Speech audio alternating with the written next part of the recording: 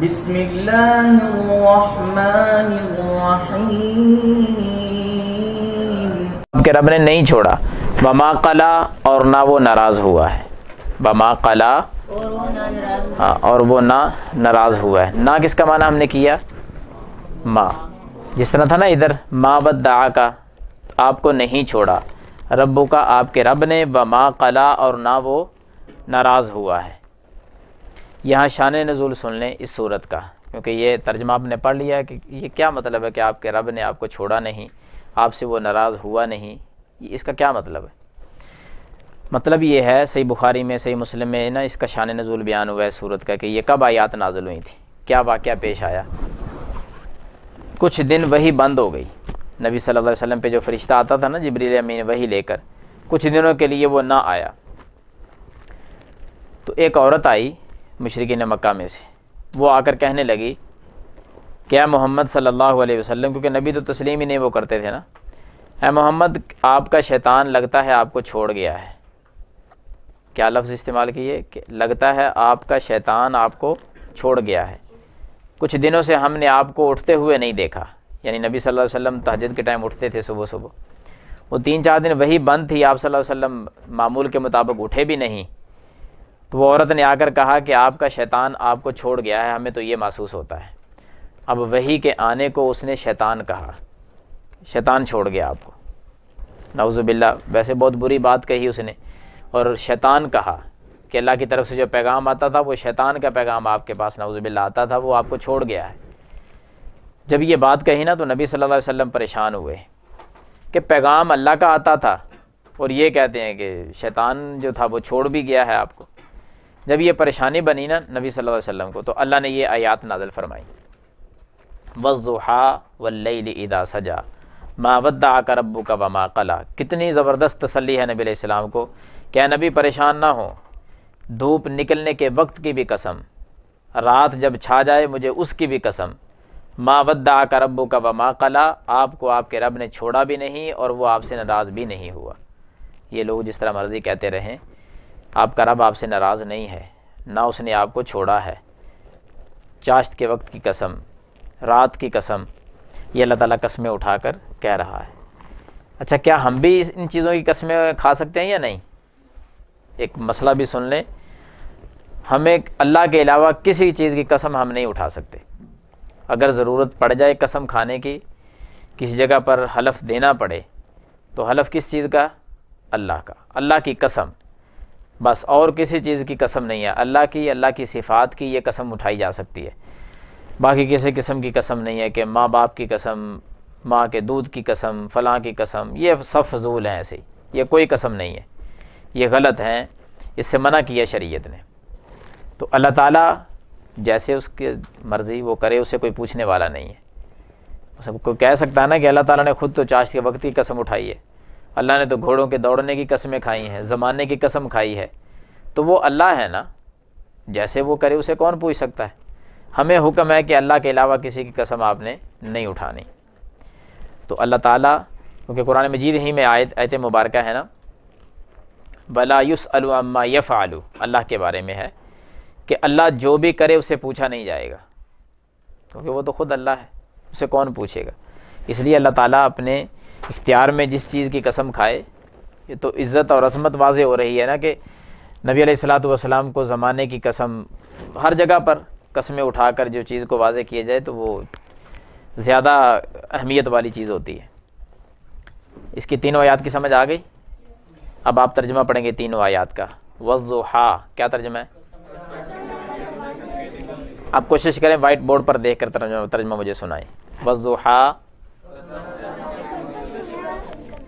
ہاں دھوپ نکلنے کے وقت کی، سورج نکلنے کے وقت کی قسم۔ زحا کا ویسے معنی کیا ہے؟ سورج کی روشنی۔ یا دوسرا معنی اسی کے ساتھ ملتا ہاں چاشت کا وقت، دن کا چڑھاؤ یعنی سورج کا نکلنا، روشن ہونا۔ بلیلی ادا سجا ماں بدا کا ربو کا ہاں جی نہیں چھوڑا آپ کو، آپ کے رب نے۔ بما قلا اور نہ وہ آپ سے ناراض ہوا ہے۔ ناراض بھی نہیں، چھوڑا بھی نہیں۔ وہ آگے پھر وہی تسلی جاری ہے ابھی تک۔ نبی علیہ السلام کے بارے میں جو لوگوں نے بات کہہ دی تھی کہ شیطان چھوڑ گیا ہے، اللہ تعالیٰ اب تسلی دے رہے ہیں۔ ولل آخرت خیر اللہ کا من الا ولل آخرت توجہ فرمائیں، یہ بات یہ بیان ہونے لگی ہے کہ ایک زندگی آپ کی اب ہے، ایک بعد میں آنے والی ہے۔ یعنی موت کے بعد۔ یا زندگی میں بھی جو اب ٹائم ہے اور ایک اس کے بعد آنے والا ہے۔ تو جو اب ہے نا، اس سے کہیں بہتر ہے جو بعد میں آنے والا ہے۔ یہ اللہ تعالیٰ فرما ولل آخرت اور بعد میں آنے والی حالت۔ ولل آخرت کا معنی کیا کریں گے؟ حالت مراد لیں گے۔ اور بعد میں آنے والی حالت، پیچھے آنے والی حالت۔ آخرت ہے نا، آخرت کو اسی لیے آخرت کہا جاتا ہے، وہ بعد میں ہے۔ ولل آخرت اور بعد میں آنے والی حالت خیر القا معنی کریں؟ لکا۔ ہاں پورا معنی کیا کریں نا؟ ولل آخرت اور بعد میں آنے والی حالت خیر القا وہ بہتر ہے آپ کے لیے من الا پہلی حالت سے۔ بعد میں آنے والی حالت ہاں جی بعد میں آنے والی حالت، پہلی حالت سے خیر القا تیرے لیے بہتر ہے۔ آپ کے لیے وہ بہت بہتر ہے۔ دوبارہ دیکھیں ولل آخرت اور بعد میں آنے والی حالت خیر القا وہ بہتر ہے آپ کے لیے من الا پہلی سے یا پہلی حالت سے۔ کتنے کے بہتر ہے؟ اگلی آیت میں یہ بات بھی واضح ہوگی کہ اللہ تعالیٰ کتنے بہترین حالت اور کتنا کچھ دے رہا ہے۔ پریشان نہ ہو اے نبی صلی اللہ علیہ وسلم والا صوف یعطی کا ربو کا فترزہ والا صوفہ کیا معنی پڑا ہوا پیچھے؟ والا صوفہ پڑھا ہے کہ نہیں؟ اور البتہ ان قریب۔ صوفہ کا معنی ہوتا ہے ان قریب۔ لام کا معنی البتہ واؤ کا معنی اور۔ والا صوفہ اور البتہ ان قریب۔ یعطی کا ربو کا تیرا رب تجھے عطا کرے گا۔ یعطی کا معنی ہوتا ہے عطا کرنا، دینا۔ یعطی دے گا، عطا کرے گا۔ کا آپ کو ربو کا آپ کا رب۔ ولا صوف یعطی کا ربو کا ان قریب، تیرا رب تجھے عطا کرے گا۔ آپ کا رب آپ کو عطا کرے گا۔ فترزا پس تو راضی ہو جائے گا۔ یعنی اتنا دے گا اللہ تعالیٰ کیا نبی تو راضی ہو جائے گا۔ ولا صوف یعطی کا ربو کا فترزا ان قریب تیرا رب تجھے دے گا کہ تو راضی ہو جائے گا۔ بڑی فضیلت والی بات ہے کہ اللہ تعالیٰ اپنے نبی سے خود مخاطب ہو کر کہہ رہے ہیں کہ اے نبی تجھے تیرا رب اتنا دے گا کہ تو راضی ہو جائے گا۔ پریشان نہ ہو۔ بالا صوف یعطی کا ربو کا فترزہ اتنی عظمت، اتنی شان، رفت و بلندی آخرت میں بعد میں آنے والے اوقات میں ایسی ایسی ملے گی کہ نبی تو راضی ہو جائے گا۔ بلا صوفہ البتان قریب یعطی کا آپ کو عطا کرے گا ربو کا فترزہ بس تو راضی ہو جائے گا۔ علم یجد کا یتیمن فآوا علم ہاں پیچھے پڑا ہوا ہے نا۔ علم یجد کا لفظی معنی دیکھیں۔ علم یجد کا باجادہ یجدو کا معنی ہوتا ہے پانا۔ مثلا یہ پینسل پڑی ہے نا ادھر، اس کو میں پا لیتا ہوں یعنی اس کو میں نے حاصل کر لیا ہے۔ کسی چیز کو پانا، کسی کو حاصل کرنا۔ تو اس میں سے یہ مظاہرے کا سیگا ہے نفی، لم یجد۔ علم یجد، کا بھی آگے آ گیا آپ کو۔ علم یجد، کا، کیا نہیں پایا آپ کو؟ یتیمن یتیم۔ علم یجد کا یتیمن کیا آپ کو اس نے یتیم نہیں پایا؟ کس نے؟ اللہ نے۔ یعنی تو یتیم تھا۔ اے نبی، جب تو پیدا ہوا، یتیم تھا، باپ تو تھا ہی نہیں۔ علم یجد کا یتیمن کیا اس نے نہیں پایا آپ کو یتیم؟ فآوا، تو اس نے جگہ دے دی۔ فآوا ہاں تو اس نے جگہ دی یا جگہ دے دی۔ تو کوئی بات کر سکتے ہیں۔ آپ جانتے ہیں نا، نبی صلی اللہ علیہ وسلم جب پیدا ہوئے تو آپ کے والد گرامی تھے یا نہیں؟ نہیں تھے، پہلے ہی فوت ہو گئے تھے۔ یتیم پیدا ہوئے۔ تو اللہ تعالیٰ وہ بات یاد کروا رہے ہیں کہ اے نبی، آپ کو یتیم نہیں پایا تھا آپ کے رب نے؟ تو اس نے پھر جگہ دے دی۔ کتنی کیسی جگہ دی؟ جب آپ پیدا ہوئے تو باپ نہیں۔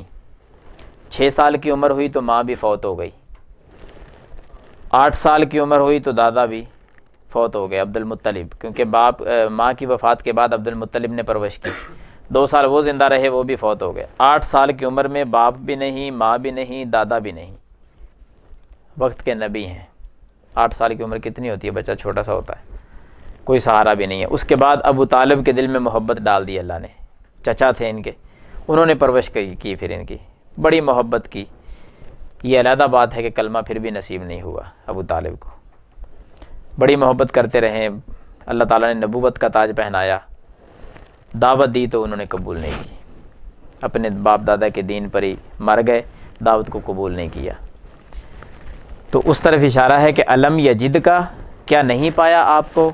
یتیمن یتیم۔ فآوا، تو اس نے جگہ دے دی۔ و واجدہ و واجدہ کا ضالن، اور اس نے پایا آپ کو۔ و واجدہ پہلی واؤ کا معنی اور، آگے واجدہ اس نے پایا کا آپ کو۔ وہی الفاظ بار بار اسی طرح کے آ رہے ہیں۔ اور اس نے پایا آپ کو ظالن راستے سے ناواقف۔ ظالن کا معنی؟ ہاں۔ یعنی دین کا جو شریعت کا راستہ تھا نا، اس کا پتہ تو نہیں تھا نا پہلے۔ اللہ نے پھر شریعت نازل کر کے بتایا کہ یہ دین ہے، یہ شریعت ہے۔ تو پہلے اللہ تعالیٰ کہہ رہے ہیں ووجدہ کا اس نے پایا آپ کو ظالن، کیا معنی؟ فہدا تو اس نے راستہ دکھا دیا۔ فہدا اس نے کس نے؟ اللہ نے۔ تو اللہ نے راستہ دکھا دیا۔ دوبارہ پھر دیکھیں بابا جدہ کا اور اس نے پایا آپ کو ظالن راستے سے ناواقف۔ فہدا تو اس نے راستہ دکھا دیا۔ آگے پھر وہی لفظ آپ پڑھیں گے جی۔ بابا جدہ کا۔ آپ کو۔ عائلن تنگ دست۔ عائلن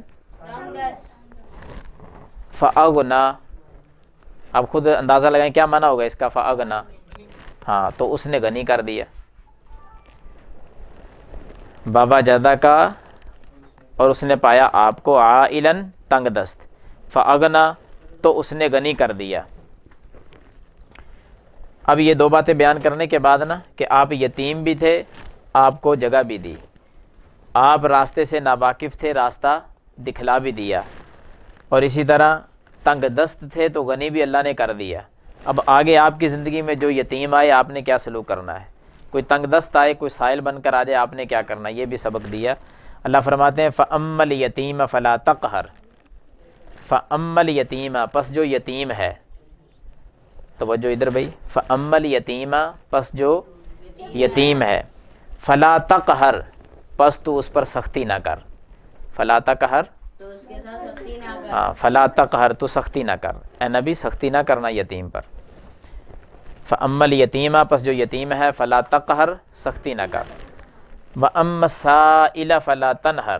و ام سائلہ اور جو سائل ہے۔ سائل کس کو کہتے ہیں؟ ہاں سوالی۔ سوال کر لے، آ کر کوئی دروازے پہ آ جائے اس طرح کا کوئی اللہ کا نام لے کر سوال کرے۔ ب ام سائلہ اور جو سائل ہے، فلا تنہر۔ تو اس کو نہ ڈانٹ۔ نہ جھڑک دونوں معنی۔ جھڑکنا، ڈانٹنا، یہ نہ کرنا کسی سائل سے۔ وہ ام سائلہ فلا تنہر، اور جو سائل ہے فلا تنہر، اس کو نہ ڈانٹ یا اس کو نہ جھڑک۔ آخری آیت۔ ب اماں بنعمت ربی کا فحدث۔ ب اماں بنعمتی ربی کا فحدث۔ توجہ بھائی ب اماں بنعمت ربی کا اور جو تیرے رب کی نعمتیں ہیں۔ ب اماں بنعمتی اور جو نعمت ہے ربی کا تیرے رب کی۔ تیرے رب کی جو نعمتیں ہیں، فحدث، پس تو بیان کر۔ فحدث، تو بیان کر۔ یعنی جو اللہ تعالیٰ کی نعمتیں ہیں، اس کو بیان کرو۔ اس کو واضح کرو۔ اللہ تعالیٰ نے مال دیا ہے اچھا لباس پہنو۔ اللہ نے مال دیا ہے تو کوئی بھی نعمت اللہ تعالیٰ کرے تو پھر کنجوسی نہیں ہونی چاہیے۔ اس کو بیان کرنا چاہیے، اس کو واضح کرنا چاہیے کہ اللہ تعالیٰ کی یہ نعمت ہے۔ تکبر بھی نہ ہو دوسرے کو حقیر جاننا بھی نہ ہو اور اللہ کی نعمتوں کی قدر بھی ہو اور اس کو بیان بھی کیا جائے، جہاں حق ہے وہاں اس کو استعمال کیا جائے۔ توجہ کریں جی میں پوری صورت دوبارہ پڑھتا ہوں۔ کوئی لفظ کسی کا رہ گیا ہو تو وہ اس کو نوٹ فرما لے۔ بسم اللہ الرحمن الرحیم۔ وضحا، چاشت کے وقت کی قسم۔ دھوپ نکلنے کے وقت کی قسم۔ ولیلی اور رات کی قسم۔ ادا سجا، جب وہ چھا جائے۔ ما ودعا کا ربو کا وما قلا، نہیں چھوڑا تیرے رب نے تجھ کو وما قلا اور نہ وہ ناراض ہوا ہے۔ ولل آخرت خیر اللہ کا من الاولا ولل آخرت اور بعد میں آنے والی حالت خیر لکا آپ کے لیے بہتر ہے من الاولا پہلی حالت سے۔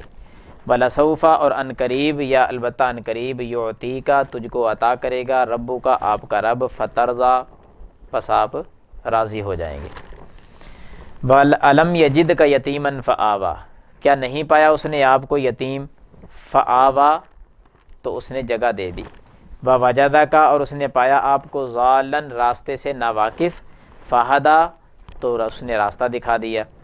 وجدہ کا اور اس نے پایا آپ کو عائلن تنگ دست۔ فاغنا تو اس نے غنی کر دیا۔ فعمل یتیم فلا تقہر۔ پس جو یتیم ہے اس پہ سختی نہ کرنا۔ و ام سائل فلا تنہر اور جو سائل ہے، اس کو نہ ڈانٹنا یا اس کو نہ جھڑکنا۔ و اما بنعمت ربی کا فحدث، اور اپنے رب کی نعمتوں کو بیان کر۔ جو تیرے رب کی نعمتیں ہیں، فحدث اس کو بیان کر۔ یاد ہو جائے گا نا؟ صورت الضحیٰ کا شان نزول بھی پتہ چل گیا کہ دو تین دن، چار دن وہی بند ہوئی۔ تو آپ صلی اللہ علیہ وسلم معمول کے مطابق تہجد کے وقت میں نہ اٹھے۔ تو ایک عورت آئی آ کر اس نے کیا کہا کہ لگتا ہے آپ کا شیطان آپ کو چھوڑ گیا ہے۔ اس پر اللہ تعالیٰ نے پھر یہ آیات نازل کی ہیں کہ اللہ نے چھوڑا بھی نہیں، اللہ ناراض بھی نہیں ہوا۔ اللہ نے تو بڑی بڑی نعمتیں کی ہیں آپ پر۔ پریشان نہ ہوں۔ اسلامی عقیدہ نکال لیں جی۔ و اماں بنعمت ربی کا اور جو نعمتیں ہیں تیرے رب کی۔ تیرے رب کی جو نعمتیں ہیں، فحدث پستو بیان کر۔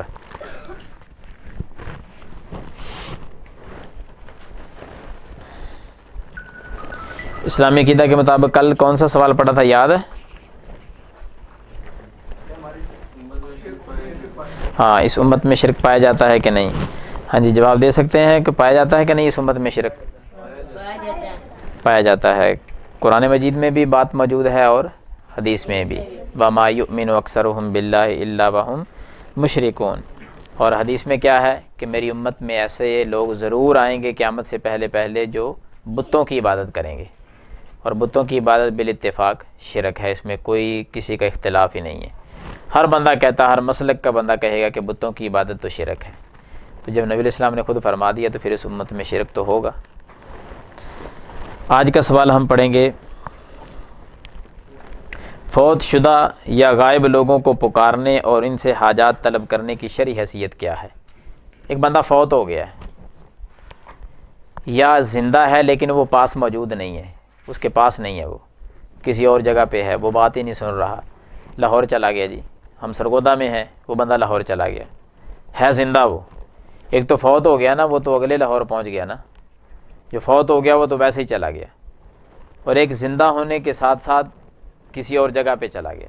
اب یہاں کھڑے ہو کر ان دونوں کو پکارنا، اس کی شرع حیثیت کیا ہے؟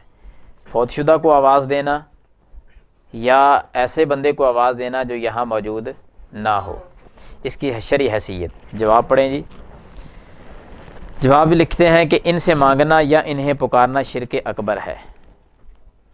دونوں کو ہی جو یہاں سن نہیں رہا ہماری بات یا فوت ہو گئے، دونوں کو پکارنا کیا ہے؟ شرک اکبر۔ بہت بڑا، سب سے بڑا شرک ہے جی یہ۔ کیسے؟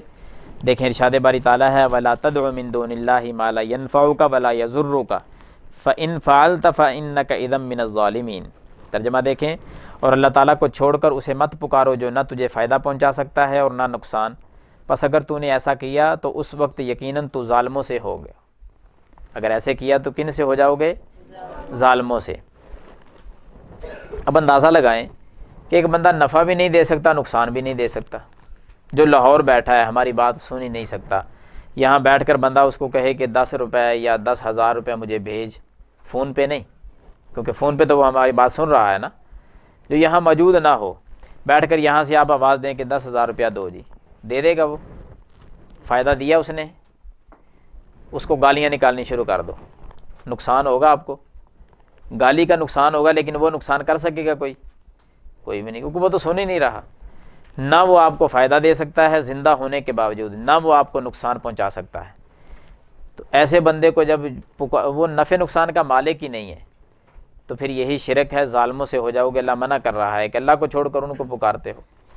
اور ایک بندہ فوت ہو گیا ہے، وہ تو ویسے ہی قبر میں چلا گیا سنتا ہی کوئی نہیں۔ اب اس کے بندہ پکارتا رہے اسے اولاد مانگنے شروع کر دے، چڑھاوے چڑھائے اور نظریں مانے، یہ سب فضول باتیں ہیں۔ یہی شرک ہے، اور کوئی شرک کو سینگ نہیں لگے ہوتے۔ شرک کسی کا نام ہے کہ اللہ کو چھوڑ کر کسی اور کو پکارنا۔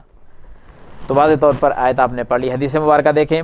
سیدنا عبداللہ بن مسعود رضی اللہ تعالیٰ بیان کرتے ہیں کہ رسول اللہ صلی اللہ علیہ وسلم نے فرمایا ممات و یدعو من دون اللہ ندن داخل النار۔ کتنی سخت بعید ہے۔ ترجمہ دیکھیں کہ جسے اس حالت میں موت آئی کہ وہ اللہ تعالیٰ کے سوا کسی کو پکارتا تھا تو وہ آگ میں داخل ہوگا۔ یعنی اس حالت میں مر گیا نا، شرک کی کرتا تھا اسی طرح ہی۔ جس طرح شرک کرتا، یہی عقیدہ، یہی نظریہ۔